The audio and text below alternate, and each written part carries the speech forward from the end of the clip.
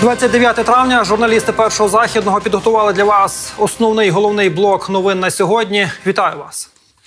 Завершено пошукові роботи в харківському епіцентрі. Поліція ідентифікувала усі 19 тіл загиблих унаслідок авіаударів, яких завдали російські військові. Це 12 чоловіків і 7 жінок. Серед жертв 17-річний хлопець і 12-річна дівчинка.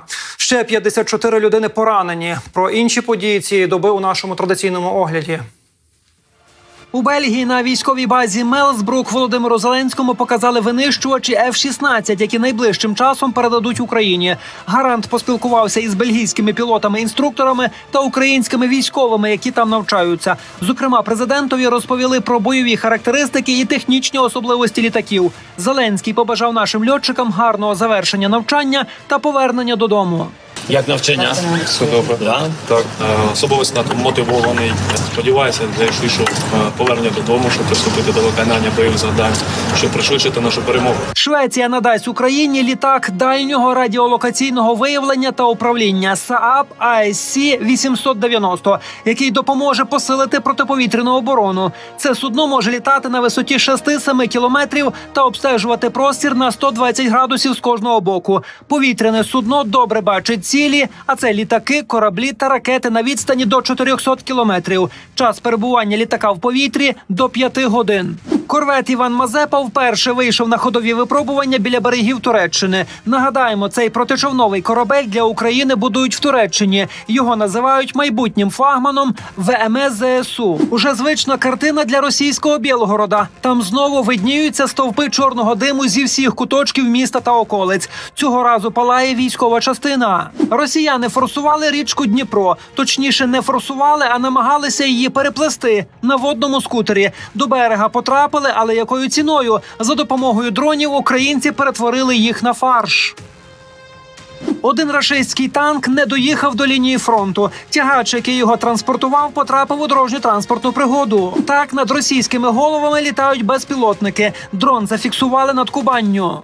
На Донеччині ворог обстріляв житловий сектор. Троє людей загинуло. Поранено 14 осіб, серед яких дитина. Всього в області за одну добу зруйновано та пошкоджено майже 200 цивільних об'єктів, понад 100 житлових будинків, церкву та підприємства.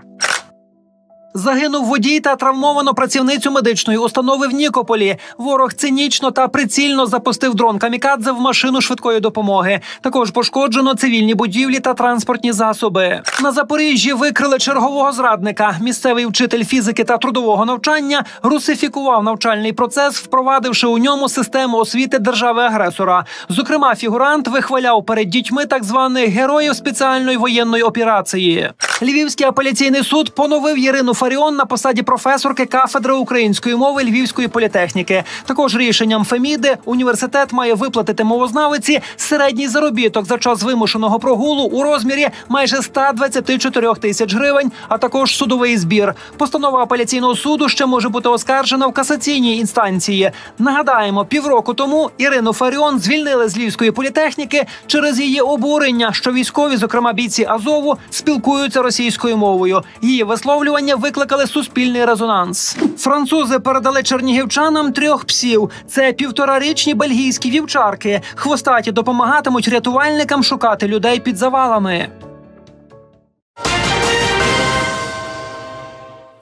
30 львів'ян отримали почесний знак святого Юрія. Це нагорода, яку присвоюють за видатні заслуги перед містом. Сьогодні нагороджували військовослужбовців за виняткову жертовність та героїзм. Посмертно відзнаки вручали родичам полеглих героїв. Зшити ниткою пам'яті роз'ятрені рани від болю втрати, рани, які не гоїть час. Почесним знаком святого Юрія вшановують поіменно кожного львів'янина, який бився за вільну від окупанта українську землю, але на жаль, здобув небо. Це відважний хлопчик, е, який е, ходив до церкви, який був пластуном, який їхав по цілому світі. А потім от е, росіяни напали на Україну, і він вирішив, що треба повертатися. Дуже сильні обстріли і осколочне поранення. Такі множинні було, що він загинув. Я надію, що миттєво загинув, що він не мучився. Він, по-перше, львів'янин. Він у Львові народився на вулиці Мечнікова. Тепер він напроти свого полового будинку. 25 років повних в нього було і тепер через дорогу від народження спочиває. 29 травня 30 почасних знаків святого Юрія вручили родичам тих, хто загинув із початку повномасштабного вторгнення росіян, батькам, дружинам, дітям.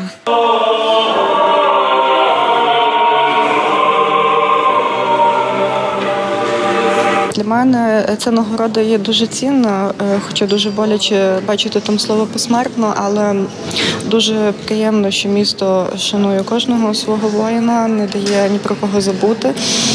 Я думаю, це має перехопити таку ініціативу кожне місто, щоб ми пам'ятали всіх своїх героїв. Нагороду почасний знак святого Юрія присвоєно вже 200 львів'янам-захисникам. 64 із них захищали Україну із 2014 року, а 136 – із лютого 2022 року.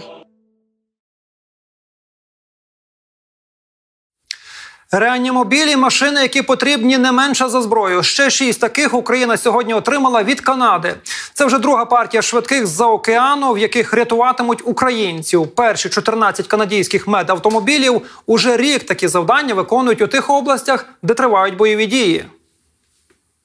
З цієї партії одне авто залишать у Львові. Ще по одній машині відправлять у Чернігів та Суми. Решту три реанімобілі поїдуть в Херсон, де за майже 9 місяців окупації росіяни просто розграбували місцеву екстру. За час військових дій Херсонщина втратила дуже багато автомобілів, 12 автомобілів, які були пошкоджені, розстріляні, і 26 автомобілів було вивезено Російською Федерацією на лівий берег.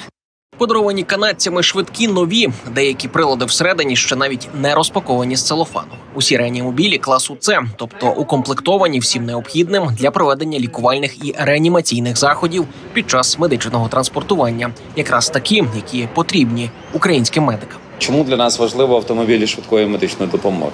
На жаль, але російські терористи, порушуючи Женевську конвенцію, е, обстрілюють українських медиків, українські лікарні. Понад 500 автомобілів швидкої медичної допомоги було або захвачено, або зруйновано, або виведено з ладу. Ці машини придбані за пожертви канадців, і таких купили не 6, а 10. Ще 4 прибудуть пізніше. Люди е, дають свої пожертви. Буває часом також, що роблять спеціальні акції, спеціальні вечори, під час яких е, збирають кошти також. Шість подарованих карет швидкої сьогодні ж вирушили у нові місця базування. Ті чотири, які прибудуть пізніше, поїдуть до Херсонської, Закарпатської, Миколаївської та Хмельницької областей.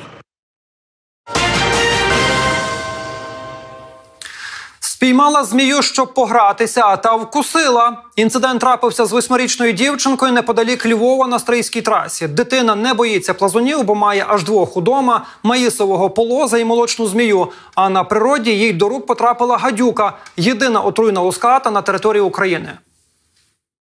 Дитину шпиталізували до дитячої лікарні Святого Миколая першого медоб'єднання Львова. Змія вкусила дівчинку за великий палець лівої руки. Я її тримала біля голови, тому що я знаю, якщо е, змію тримати біля голови, вона не змо- зможе вас кусити, тому що е, десь не зможе відкрити рота і повернутися, щоб вкусити вас. От я так і тримала, але вона висунула зуб і вкусила мене.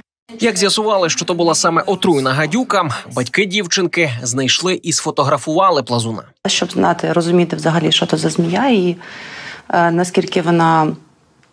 Небезпечна. Потім я вже в дорозі читала, що треба там, якщо є чим обробити, там типу антисептиком треба обробити. Якщо є холод, то прикласти. Все, що ми могли зробити, ми зробили в машині, і вже на місці нас одразу прийняли. Восьмирічна Аліса добу пробула в реанімації, де кров дитини одразу очистили від отрути, вжили протишокових заходів та виконали інфузійну терапію. І невдовзі, після надзвичайної пригоди, дівчинку відпустили додому. Медики також дали поради, як треба діяти у таких випадках. Найперше, що ми маємо знати, е, ми не шукаємо того, хто вкусив, і займаємося тільки тим, кого вкусили. Ніякі е, розрізи, надрізи, відсмоктування в ділянці тих ран не проводяться.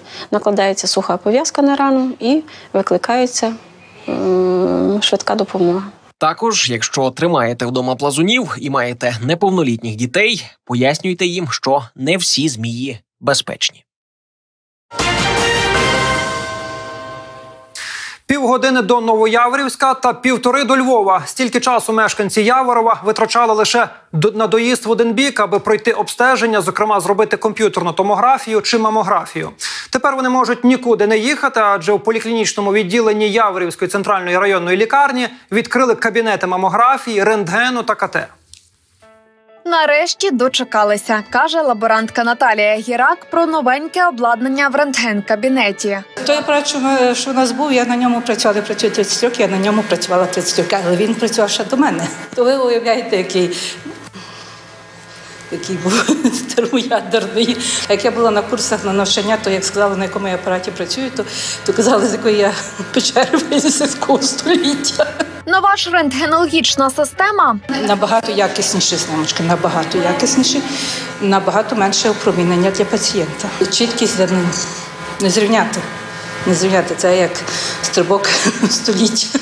Вартує таке обладнання майже 6 мільйонів гривень. Додам, що у Яворівську лікарню закупили і стоматологічну рентгенівську систему. Запрацював у лікарні й кабінет мамографії, де вже обстежили перших пацієнток. Мамографія проводиться жінкам після 40 років для того, щоб обстежити молочні залози, і завдяки цьому приладу ми можемо зробити це якісніше. Це в нас є новий апарат. Раніше такого не було.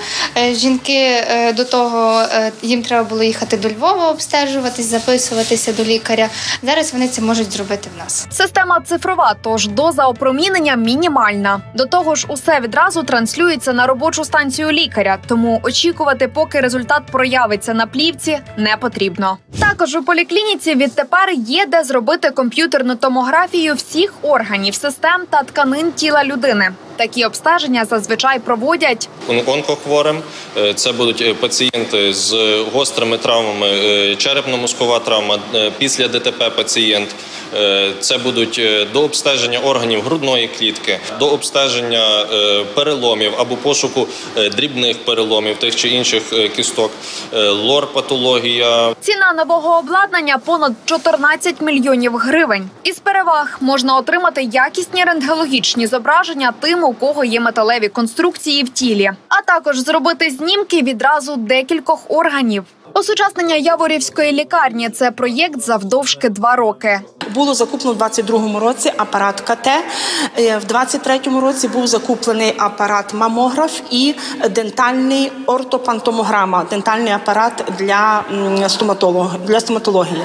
Значить, е, тільки цього року нам вдалося це е, запустити в дію, тому що процес довгий, ремонтні роботи, не могли знайти приміщення. За останні два роки в нашу єврейську медицину ми виділили 144 мільйона. І в нас є багато військовослужбовців, е, ветеранів війни, діючих військовослужбовців, які приїжджають сюди у відпустку і проходять обстеження в нашій лікарні. Е, Тому ми встановили безкоштовне обстеження. А так наша громада налічує 52 тисячі мешканців, які користуються послугами Єврейської е, лікарні. Зауважу, що зробити комп'ютерну томографію, рентген та мамографію безкоштовно можуть усі мешканці Яворова за скеруванням лікаря. Марина Венцурик, Юрій Кісь, програма Очі.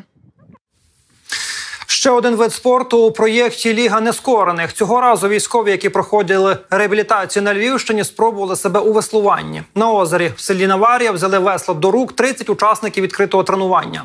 На яких плавзасобах вони себе спробували, розкаже Алла Васьковська. Вітаю вас всіх в нашому човні драконі. Гарного вам тренування. Надіюся, ви такі усміхнені, як їдете, такі ж і повернетеся. Дракон відчалює. Головне у цьому понад 100-кілограмовому човні одночасно занурювати весла у воду. Скеровує човен у певний напрямок. Стерновий ритм задає барабанщик.